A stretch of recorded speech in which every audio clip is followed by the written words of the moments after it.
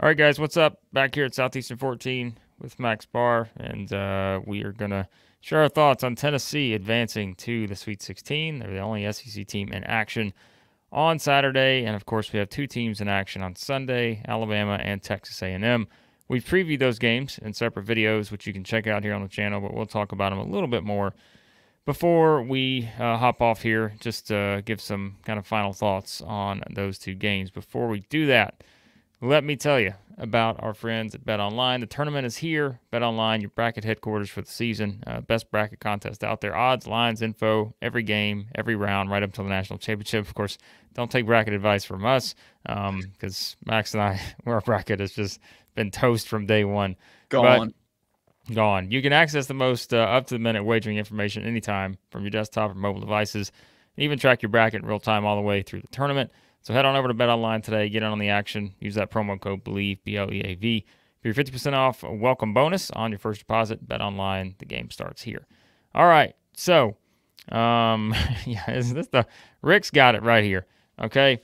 Yep. Tennessee, just win. That's Yep. all you got to do. Everyone advances to the Sweet 16 the same. You don't get extra style points. You don't get to get reseeded based on how you play in the second round. Um, it's it's a tournament, and so it was not pretty for the Vols. Uh, they win it 62-58 over Texas, and I thought the biggest development in this game was look Dalton Knecht still scored 18 points, and I know Max was there live, and you know he's probably just watching this game and trying to figure out exactly how this thing's going to play out as it's going along. It's like, oh my goodness, what's going to happen here? But Knecht scores 18. It was not his best game. He went 5 18 from the field. Um, you know, scored what seven of those from the free throw line. He did pick up nine rebounds. Um, but like this to me proved that Tennessee, if this is going to be a year where they're able to just keep going and keep going and keep going, like their defense is good enough to kind of carry them. And for them to win an NCAA tournament game like this, where their offense was absolutely atrocious at times, um, where they're just not hitting shots. Three of 25 from three. They shot whatever, 30 something percent from the field. You'll take it. Any way you can get it, you'll take it. And that's all that matters. So, This I like what I like what Connie said up here. It's a long comment, but it's it, it rings true. Age 10 years last night. I feel I feel you. I feel you. The energy in the Spectrum Center, it was like a a nervous energy the whole time. I'll tell you what. I have never seen fans stand for so long in a game. I mean, like there was like obviously during halftime, or if it was like the long, long media timeout, some of the Tennessee fans sat down. Well, other than that, they stood the entire game. Um, and it was it was cool because Tennessee was on one corner, and then the opposite corner was Texas. So they were just like screaming back and forth at each other um, as like the momentum swung back and forth. Um, but this is exactly the type of game Tennessee normally loses. The bad shooting night, the you go through offensive slumps. Uh, Zeigler and Knecht combined for seven turnovers. This was the game they would usually drop. Not this year. Not this year. I thought Tobe Awaka, I know he picked up the fouls. I know he picked up the fouls. He actually, in his post game, he said that he uh he asked Barnes on the bench, "Can I go back in the game? You trust me?" And he had two. Barnes thought he had one, and put him back in. Then he picks up his third in the first half. Um, but he still got the KenPom MVP on the game. Did a, did a Waka only in 11 minutes? He gets 10 points, five rebounds, four offensive rebounds, a block. I mean, it's so nice to have that off the bench. Um, but just we were there, right? In the last about four minutes, Blake, we have all these. So it's it's the last it's the last session of the whole the whole weekend, and so most of the UNC fans who were there had already left. Everyone just floods down to like the they no seats anymore. Everyone just floods down. All Tennessee fans, we're going nuts. And then Tyrese Hunter hits a three, yeah. and we're like, "Oh no, you got to be kidding me! We just got roped all the way back." Um, but hey, a win is a win. You'll take it any way you can get it. Onto the Sweet 16. And now you're going to catch a team. I know you have almost you know, more than half a week off here. But now you're catching a team that just basically ran a marathon in Tough Mudder in one night. So not a bad setup. Yeah, we'll talk about that matchup a little bit uh, before we we move on from Tennessee. But like, I, I, just you said it. I mean, that was the the biggest development I thought was just the fact that they could win a game like this because that was always the question: Are they got it done? Can they win a game like this when they aren't making shots? And I think you're starting to, you know, you're having flashbacks as this game is going on. You're thinking this is exactly what's going to happen. Tennessee is not going to be able to score for X amount of minutes Texas all of a sudden going to start hitting a couple shots, and that's it. But it didn't yep. happen. And again, I think there's just credit to what they can do defensively. Like you said, a guy getting KenPom MVP playing 11 minutes. Um, that's a pretty productive productive night for Tobe yeah. Awaka. Uh, so, yeah, and you know, as we said going into the season, he was kind of our. You know, remember like back in the summer, everybody's this guy's he's getting there. Like he's mm-hmm. about to be this you know breakout star and um, you know, I I would say the numbers maybe didn't quite reach that level consistently this season, but still, I mean, it's it's nice to have a guy like that in a game like this where you you do have someone who can just be the difference maker if some of your other guys are not making their usual plays. And you know, I thought Jonas Aidoo made some big plays down the stretch for sure.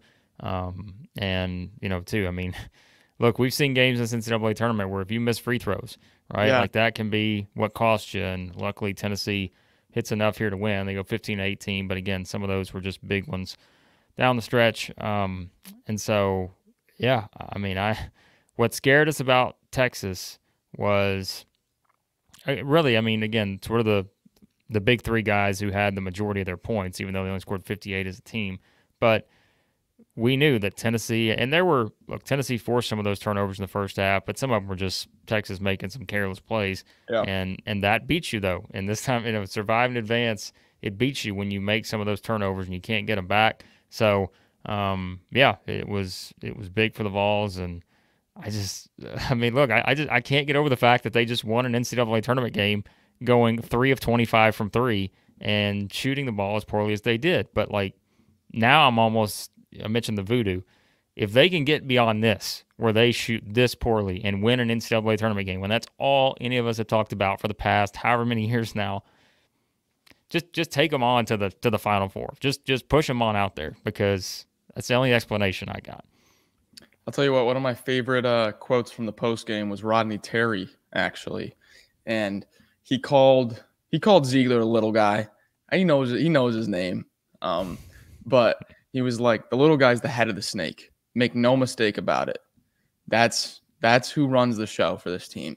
Um, and I didn't really, I always knew that, but up close and personal, seeing it when the game was on the line, uh, say they get a defensive rebound and they kind of have a chance to to push up. Everyone is like, no, no, no, no, no, get it back to Zeigler, get it back to Zeigler. No, no, no, no, no, don't do anything. No. Um, Someone say they had a Biden. hey, I don't blame you. Like I understand. I can listen. I can imagine as a Tennessee fan because you know it's not just us that's it. Like right, we we haven't just been the ones who talked about this. It's just we, that was the thing, right? Like all right, the difference this year is that Dalton Knecht is going to get him out of some of these scoring issues, right? Like, and again, he's still. That's what. That's the thing about Dalton Knecht. He scored 18 points in this game, all right, and you're looking around thinking this was not one of his better performances. And yet, no. like, this is what he can do. Like, he can still affect the game in a big way, even if he's not going out and scoring 40. And so, uh, yeah, I mean, and I think, too, that's something else, right? It's the defensive. Teams have to now defend Tennessee differently. And even yep. though they didn't make the team as a whole didn't necessarily make them pay because of how they defended them here, when you have Dalton Knecht on the floor, floor you got to defend in a way where you're going to give other guys an opportunity. And it's just a matter of can guys hit shots? No, they didn't do it consistently here, but again, it was still enough, and that's all that matters. Yeah, Zeigler's had at least seven assists in four of his last five games. I mean, he's on a he's on a roll. Um, and if, when you look at when you just look at the box score or even immediate reaction just from watching the game, you would you would think like, man, Zeegs and Vescovi had an off night. Man, they, they didn't they did not shoot the ball that well. Well, while that may be true, They also combined for six steals, six live six live ball steals. Yeah. That that that obviously then in turn led to a advantageous offensive possession. Six of them, right? So maybe yes, they did have an off night shooting, but that's why that's why you're seeing Z's with 40 minutes not coming off the floor because of because of stuff like that. Well, I don't know what else we can say about that game because I think it was just kind of like, mm, you know, I mean, they won the game, they grinded it out. That's the kind of wins you want in March. But we'll go ahead and just quickly give some thoughts on the Creighton matchup. Uh, and oh, yeah. of course, as always, we will we'll do our preview video. We'll give you our prediction, all that. For anyone who thought the Southeastern 14 kiss of death was going to play a role here, it did not. We all we took care of business uh, against Texas. By the way, the next basketball game Texas plays will be uh, as an SEC member, so we'll see them next season. But for now, Tennessee gets Creighton. That was a wild game. I hope you guys stayed up and watched that one because that was maybe the game of the tournament so far uh, yeah. with Creighton and Oregon. And I'll be honest, Max, I'm, I'm looking at this, and the more I watch this game, now you guys remember what I said and why I advanced Creighton on in my bracket before we got into this tournament. Um, now I said I just didn't love the matchup, but I don't know. The more I watched Oregon, I'm like, I wonder if Oregon's the worst matchup for Tennessee, uh, based on how Couisnard's been playing. You know, you've got the big man in Dante. We've talked about kind of Tennessee struggles at times with teams like that.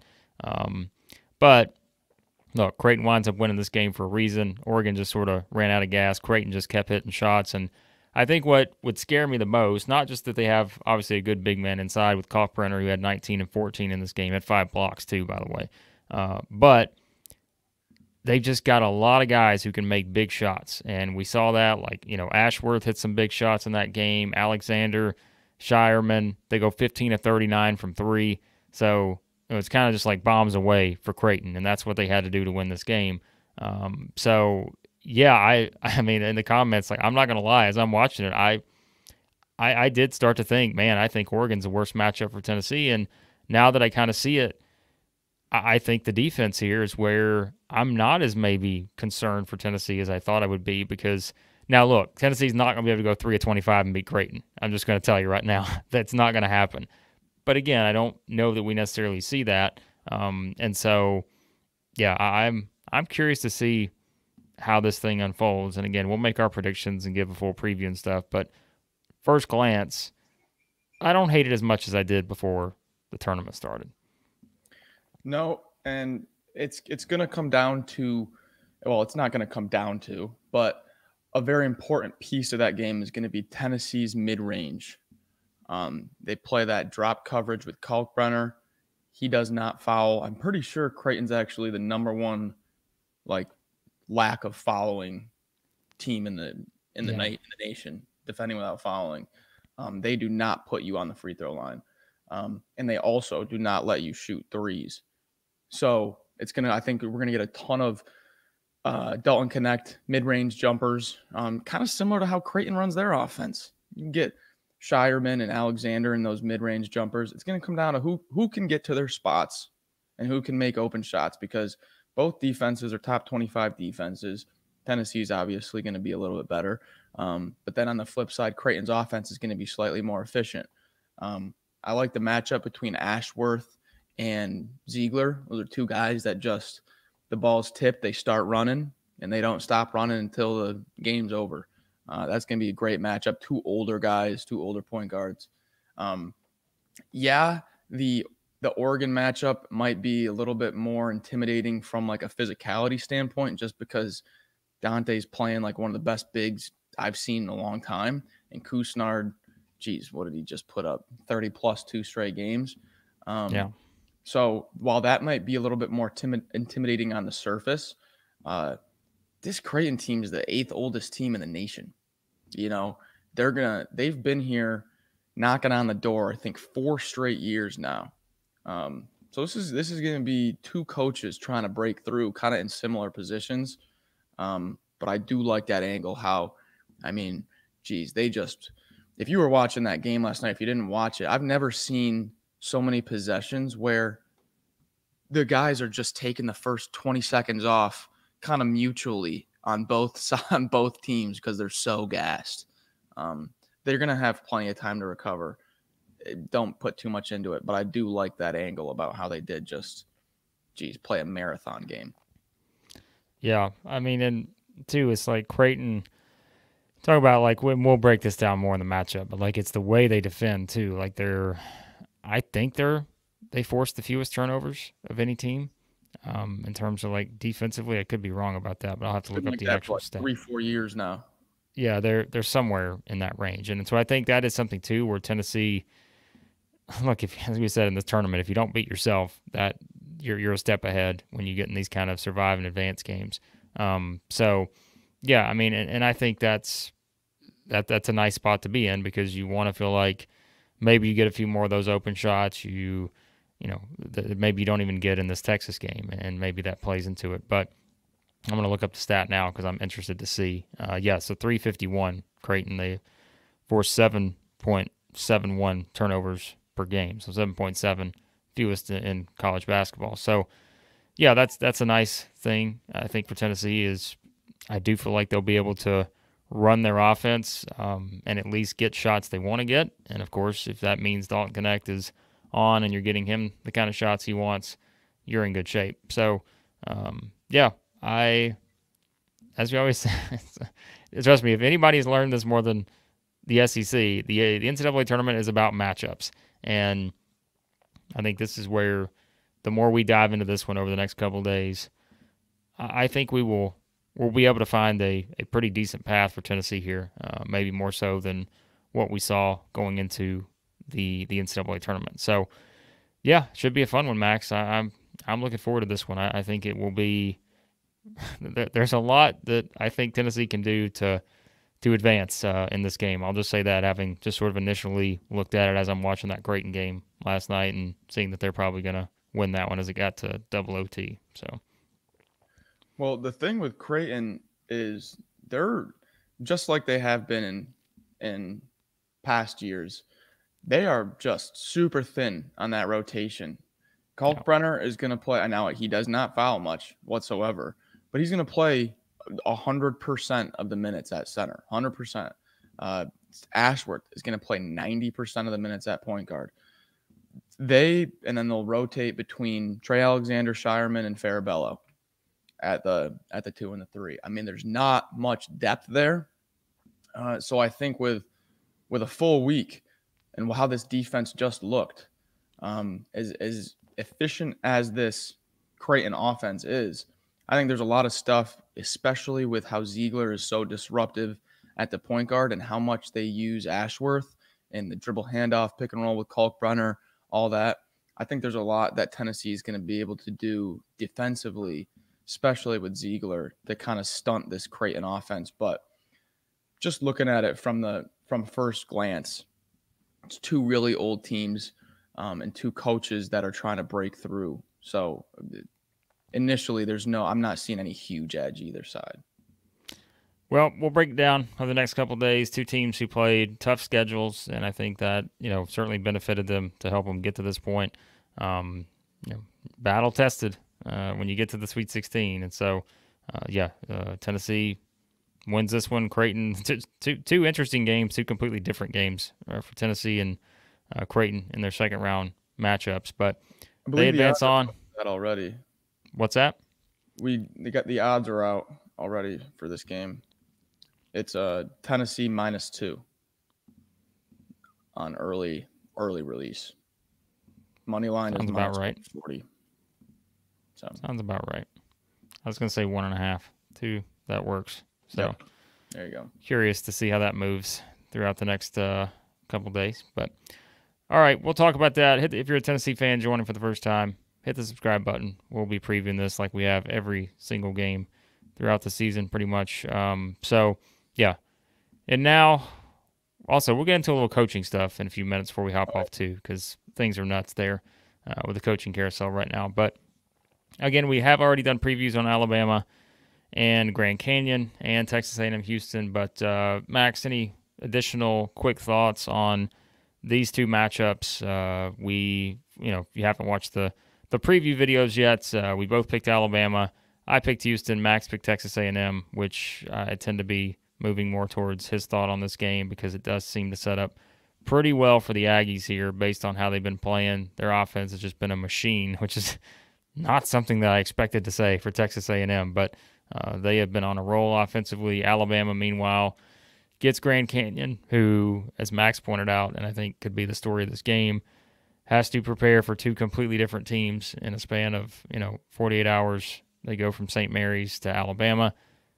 You could not maybe get further away in terms of uh, the way two teams want to play and win. So, two two fascinating matchups here. But as we said in the previews, I, I think two very winnable games for the SEC uh, in these two spots. No, the, the more I think about that Alabama Grand Canyon game, the more I'm buying into how tough that turnaround is from you're preparing for a week for St. Mary's and then now you got to get a top 5 offense and top 5 pace just like not even remotely close. Um, and and Brett's right. Less than 48 hours to prepare for Sam Walters. Um, Where's Tucker? Re- recipe for disaster for the opponent there. Um, once again, Alabama has the highest total of the of the round, so that's two straight rounds where Alabama's got the highest total. This one's Take at 170, over. I believe. Might have gotten pushed down to 169. Yeah. Um, but anyways, if you're all if you're in for entertainment, you, the odds are saying this one's going to be something like 90 to 80. You know, um, and then over to Houston A&M. Oh man, I am I have gotten to the point where I first looked at this game and I was like, man, I think A&M's got some they've got a chance to keep this thing close. And I've I've gotten myself all the way to the point where in my mind it's A&M minus 10, not Houston minus 10. I've somehow transferred myself all the way to yeah, A&M's going to win no doubt about it. Um which is dangerous, which is dangerous. dangerous. Um, but listen, for all of the what's the right word? Unfortunate outcomes the SEC went through the first few days. Still have an opportunity to get multiple teams to the Sweet 16. And I don't care what conference you're in, I don't care how many teams you get in. You got a chance for multiple teams to get to the Elite Eight. Uh, you're you're doing something right. So big opportunity today. Um, I am I'm also a, a, SEC homer now, but I'm feeling confident we can get we can get two and zero oh here today. Confident. Max has become a bigger SEC homer than I am, and that's it's hard to do, but um, someone's got to do it. Somebody's got to do it. So yeah, Lucas. I mean, again, the Southeastern 14 Kiss of Death. It's March. All right, we don't we don't play that game. All right, we, have told the uh, the Kiss of Death we don't play that game in March. So uh, see you later. Um, yeah, Alabama. I, I told you. I, I, look. I picked Michigan State to to get to the Sweet 16. I thought maybe that would be the best path for Alabama to get to the you know Elite Eight. But the way things are setting up, I you know you got to beat Grand Canyon first. But um, again, if we said it, if Alabama's at full strength, which they are now, and they're shooting the ball well, which they are, and they defend a little bit, which they did, despite you know looking at the final score in that Charleston game they're they're really good, and they were good enough to win the SEC. That team was uh, when you had everybody available and all that, but obviously just kind of took a dip over the past month. Uh, but yeah, if they play like that, they got a great chance to beat Grand Canyon and go on to have a very you know if you're ranking the Sweet 16 matchups, uh, that will be one of the higher ones out there based on the way those two teams like to play. Uh, if that's what we get, and then A and M. I'm ready to go full money line on the Aggies right now. Like yep. Max just just talking yep. me into it give it a shot here. Let's see what happens. Um, but I mean, like I said, somehow Texas A&M has become an offensive juggernaut, and it's almost like they're just completely defying the odds here because we just kept bringing up their shooting percentages and everything, and they're they're going up and up and up uh, based on how they're scoring over the past little bit. So, yeah, I need more teams in the Sweet 16 from the SEC. Uh, so, got a I lot. In a Manny Obaseki jersey. Couldn't find one. Well, they probably sold out. So it's my guess. Probably. Probably sold out. You've probably sent people out buying jerseys everywhere. Tobe Awaka, Tobe, Tobe Awaka jersey is going to be going off the shelves after this live stream, I would think. You know so. those halftime shows where they, they bring out the trampoline and the, the, the they're doing like the trampoline dunks. That's yeah. what Manny Obaseki does in real games. Just launches himself at the rim. No regard if he's going to make the shot or not. I love it. An absolute rocket. Uh, yeah. Is one thing I wanted to add, like, Um, I'm really, I'm really looking forward to. I know we're just jumping around here, but I'm really looking That's forward to the matchup and how uh, what Nate Oats does to stop Tyon Grant Foster. Probably the best perimeter defender for Alabama, Rylan Griffin, six six. Grant Foster, six seven. I think he can handle it. Um, but that's going to be interesting uh, because Grand Canyon's a rare team where that guy at the three is their highest usage guy. 28.7% of possessions. Next highest is is 22.7 so kind of a unique setup where they run everything through the three not the point guard. Um, and i think i know as much as the alabama defense has has struggled i think this kind of not sets up well for alabama but if you have rylan griffin on the highest usage guy I think that's got to be something worth some value. Yep. Uh, big matchup. And I guess we, we also got breaking news here. Christian's headed to Los Angeles if oh. Alabama wins. That could be dangerous for, for oh, LA. Um, so, yeah, we'll we'll see what happens there with that. But all right, so like we said, if you want to check out our full previews, Alabama, Texas A&M games, you can do that on the channel. Uh, check out those videos, and like we mentioned as well, as always, we will have our Tennessee Creighton video up probably in the next day or so. Uh, we'd like to get those out early, especially when we got a little time between games. So we'll start to break that matchup down, and uh, we will get that to you guys here in the next little bit uh, to start looking at that game. Uh, should be a lot of fun to really dive into that one and watch the Blue Jays uh, a bit and some different things and see what Tennessee can do to advance to the Elite Eight. But um, all right, Max. Before we hop off, yeah, chaos The SEC coaching carousel could get very chaotic here as we we start to move in the next 24 hours or so. Um, it's usually what happens every year when you talk about kind of, you know, the situation where you get that second round over with and you're trying to, you know, really figure out who's going to go where and all this other stuff. And now you're kind of in a position where things Dusty May is a big domino because we all yeah. thought he was heading to Louisville. That's not going to happen. He's at Michigan now. That was kind of the one a lot of people were waiting on. And, and I know people don't want to believe this, but you saw some of the national reports out there. Look, Vanderbilt legitimately thought that they were right there with a chance um, to to get Dusty May. Um, and and I think some people were like shocked by that. They're like, why would Vanderbilt ever think that they were going to get Dusty May? Dusty May. Well, when you put like an offer in, if you're going to, you know, extend an offer, that tells me you're not going out and extending offers to eight different coaches at the same time, right? Like you're going after this guy and making him tell you no. And so I think you got to give Vanderbilt some credit for that. At least they took a shot, they aimed high. If he was their first choice, like golf clap because that's that's a good job if that's who you're going after. That tells me they're going after the right candidates. Um, but the Dusty May thing is going to make things interesting because um, now Louisville's open, and yeah. they're obviously. I, I mean, look, there are certain SEC coaches that are Louisville is. I just think we're starting to see that. I don't know if Louisville's going to get necessarily the guy they, they think they're going to get, uh, which we know one of them's off the board already. But I, I think this is going to get kind of interesting because, look, you've still got the stuff out there. Is Eric Musselman coming back? Is he not? Um, that's been hanging around for a little bit. I I don't know that anything's completely changed there because the problem is when you have silence, you're just like, which way do you read that? Uh, you know, because you their coaches handle things in a different way, schools handle things in a different way. Some guys just immediately come out and say, "Hey, I know these rumors are swirling everywhere. I'll be back," or then it just it's radio silence and you have no idea. That's kind of the situation we're in right now. I feel like with a couple of these situations. Obviously, the John Calipari one, who knows what to believe? because, I mean, as we said after the Kentucky, whatever reaction we did on that, if if Kentucky wants a new coach, Kentucky's going to get a new coach. Um, and I think it's really as simple as that. They will pay the money. Everybody's acting like this whole buyout thing is a huge deal. It's not. Like, it's really not that big of a deal.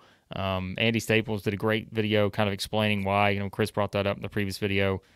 There are plenty of ways to offset that payment. You're not just paying this guy whatever up front. That's not how it works. So I don't know. Um, it's interesting, Max. What do you what think we got? Mother Carol, um, Yep. Shaheen Holloway or Pat Kelsey to Vandy, or and so the Holloway one is I've seen that out there, kind of the I- I connection, and wondering your thoughts on that. I mean, look, it's here's here's the era that we're in, right? It is really a matter of what is a coach going to get whenever he gets there. Like what NIL is like it dominates every decision now. Yep. Um, it's not just what you're getting paid; it's what are you getting there to pay your players. Like what a what a wild sentence that is. Like That's think about where we were five years ago, right? And now it's how much money are you going to get to pay your players?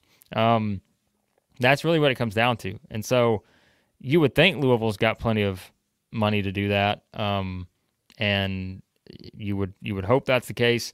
So I, I think that's kind of an interesting situation. But Pat Kelsey's the one that's just been kind of hanging out there. I, I feel like we're we're getting close to Pat Kelsey getting another job, but um, you know, and people make I think people sometimes Max make a lot of well, the guy just got beat in the first round. That don't a one game NCAA tournament can define your coaching career because you know if a guy wins a Sweet 16 game, right, and he's Cinderella, and all of a sudden you get a Shaheen Holloway who all of a sudden gets a bigger job and all that, but it doesn't just completely. One game isn't going to define what you've done throughout your entire career um, when you get to this point. So Pat Kelsey's a name that'll pop up, and we'll kind of see if he winds up wherever. Vanderbilt, it's yeah, we'll, we'll see. So Well, I think Bucky's in there also now. yeah, I think Bucky McMillan would be a great hire for Vanderbilt. Um, I Well, said last was night. McMillan, I'd be behind bars right now based on that. My reaction to that that block call. So, tip my cap to Bucky for holding his composure because I wouldn't have. Well, I think Bucky. I, I said last night. I put the poll out on Twitter. I said, would you take Chris Mack and Bucky McMillan or the field right now if you were, you know, your, your Yeah. prediction for Vanderbilt? I said I would take the combination of either Mack or Bucky versus the field. I think that's probably where we are for Vanderbilt. Um, again, Pat Kelsey's an interesting name that's out there. I know people mentioned Josh Schertz at Indiana State, but it seems like St. Louis is the St. Louis? destination there. And they're still playing, right? So until they lose, you're not going to get any forward movement on that because they're still in the NIT. Uh, Yep. Indiana State is. So you're not getting anything there. Um, but I think Vanderbilt will now move quicker because if they did have Dusty May, if that was their offer was to him, well, now he's off the board. You got to start moving quick because we said that the issue for Vanderbilt becomes if Kentucky makes a move, if this happens, it's going to happen soon if they do it. Like if they make this move, it's going to happen probably within the next 24 to 48 hours. Yeah. But that's also dependent on do they have their next guy ready? Because if they That's- don't, well then it's not going to happen quickly, and this thing could drag out. And so we said too, if, if Kentucky makes a move, Vanderbilt better have a coach in place because the domino effect that that's going to create is going to be absurd because you are going to have then a lot of dominoes start to fall because that's the biggest one to me. Any job that could become available, Kentucky is the one where if that job is available and all of a sudden Coach A jumps here, Coach B jumps there, you just keep going and going and going. This thing lasts for weeks at that point. So, yeah, What did we? we'll what see. did we see? What, what was? What, what, I feel like I saw something. It was like um, as much as, as much as Kentucky um like is, is not content with the current performances. That same level is like they don't. They need to be sure that the replacement is an upgrade. Yeah. You know, like it's like a two-sided coin. It's like not only like yes, there's there is an urgency that we like the results are not up to our standards, but then you don't want to make a decision and take another step backwards. You know, so it's it's like a harder decision than the on the surface of just like we got to change. Like, well, there's a lot that goes into it. Yeah, you you can't get rid of a guy just to get rid of a guy Yeah. like that, especially if you're Kentucky. That is not how it works. Um, you can be as frustrated as you want, but you can't get rid of a guy and just say, "All right, well, let's go see what happens." You got to have the plan in place before you You're get just there. trying to hit the lottery at that point. Yeah. So um, I've said I just feel like Kentucky fans have reached the point of no return with Cal. I don't know how you could convince people that things are going to be different, um, but that's the way it works. So um, Christian spreading his propaganda. He wants Bruce Pearl to Louisville. It's not happening, Christian. I apologize.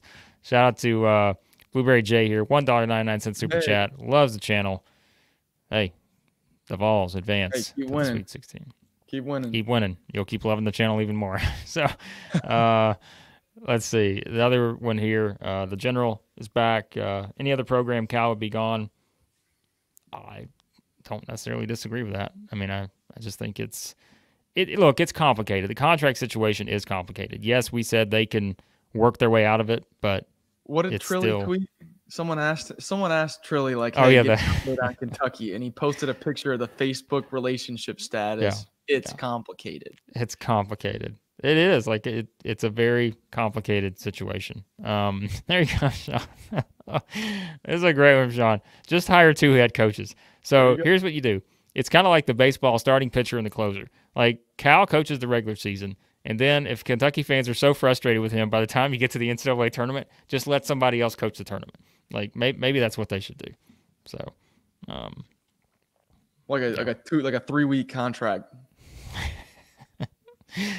oh, stranger things have happened in Kentucky basketball.